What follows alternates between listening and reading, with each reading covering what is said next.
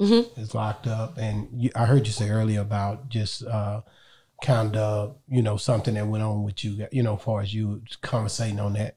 Um, that whole the, that all that stuff run together to you. It, it does. It's you know, it's just like people say, it's just in the bloodline. Like, you know, my brother ran with C Murder, one of his. Yeah. You know, they make a lot of music together, so you know, it's all love over here when they come to see Murder. It's always been love. It's always been respect. It's always been, you know, a good relationship. Yeah.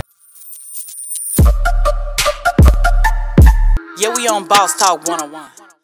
Okay, I want to go right a little bit back into the Soulja Slim a little bit because mm-hmm. I am I know a little bit, but because I'm from Jamaica, so I don't know a lot about a lot of stuff. Okay. But how did he die? So he was he was killed. Like, he was shot. Did they find out who?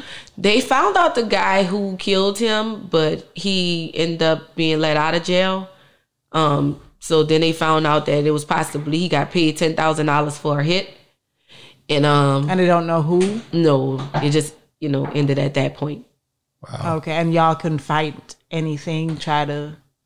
I mean, with the New Orleans justice system, that's just the way it goes. I know. That's why I, we had a, a person on here earlier talking about the justice system here, and yeah, saying, you know, hopefully they'll get things changed. Do you think it ever change? No, it's too much corruption.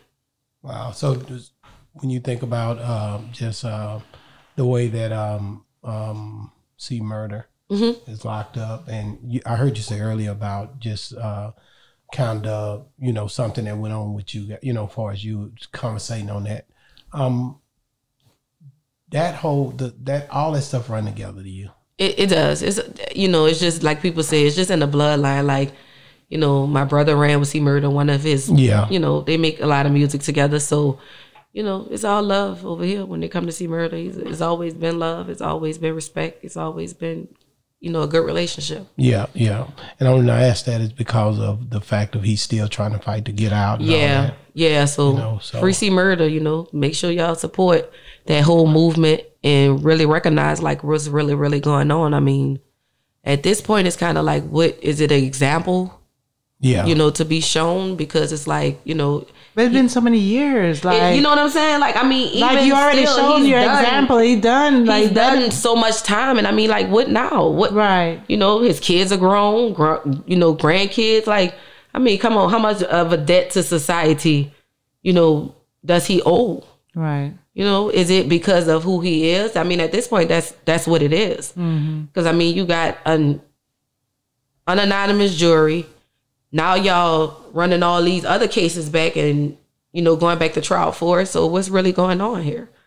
So like I said, you know that's why I said corruption when it comes to that because it's like you ain't playing their game, so they got another game they want to play. Want to play? That's it. I mean, you know, that's the way they try. It's like like we want to show you we we we in charge. You know exactly. And and and no matter how much money you got, no matter what, we still who you are. You still what what Jay Z say? We still nigga. Mm. On Boss Talk 101.